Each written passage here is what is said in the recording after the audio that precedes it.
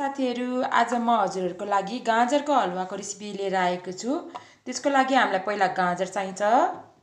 त्यसै गरी मसला। मसला चाहिँ यो अप्सनल हो। हजुरले राख्दा पनि हुन्छ नराख्दा पनि हुन्छ। चिनी। साथसाथै दुध।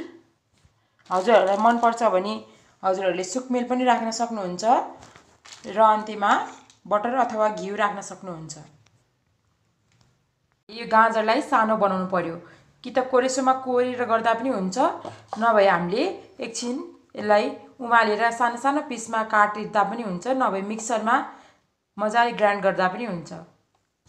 पहिला त हामीले एउटा भाँडा तताउन राख्नुपर्छ।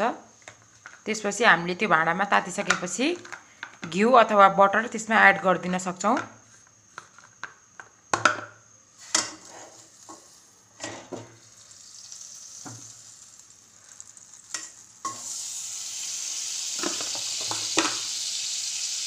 यसलाई मेल्ट हुन दिनुपर्छ।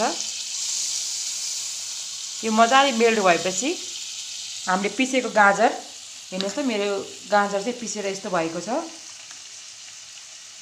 यो मजाले मेल्ट भइसकेपछि हामीले यसमा गाजर एड गरिदिन सक्छौँ।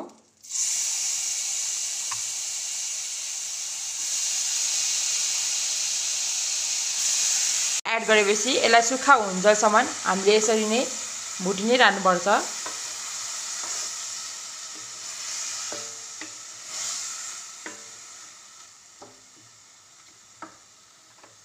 पछि हामीले यो सुकमेल कुटेर हालिदिन सक्छौँ। यदि हजुरहरूलाई मनपर्छ भने हजुरहरूले हालिदिन सक्नुहुन्छ नभए यसलाई नहाल्दा पनि हुन्छ।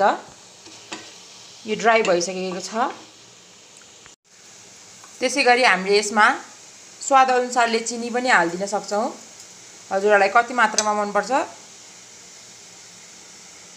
कतिको गुलियो खानुहुन्छ त्यही अनुसारले चिनी हाल्दा हुन्छ अथवा कति चाहिँ पकाउँदै हुनुहुन्छ त्यही अनुसारले आफै अन्दाज गरेर चिनी यसमा हालिदिन सक्नुहुन्छ।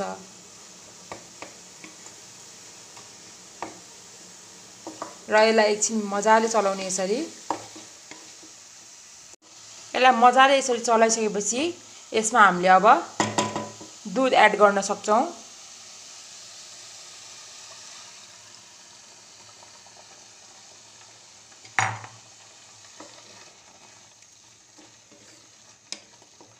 दुध हालेर यसलाई चलाएपछि हामीले एकछिन यसलाई छोपिदिने। एकछिन भन्नाले चार पाँच मिनट यसलाई स्टिम सानो हिट गरेर पाँच मिनट जति छोपिदिने।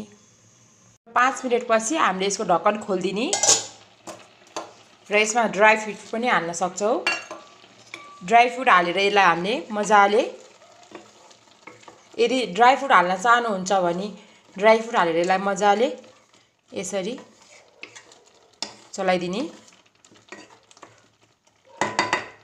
र फेरि यसलाई हामीले यो दुध नसुकुन्जेलसम्म एकछिन पकाइरहने। छोपेर नै पकाउँदा हुन्छ है।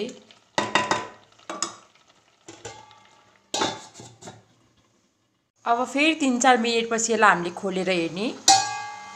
ल हेर्नुहोस् त अब हाम्रो गाजरको हलुवा रेडी भइसकेको छ। यसलाई यसरी चलाउँदा हुन्छ।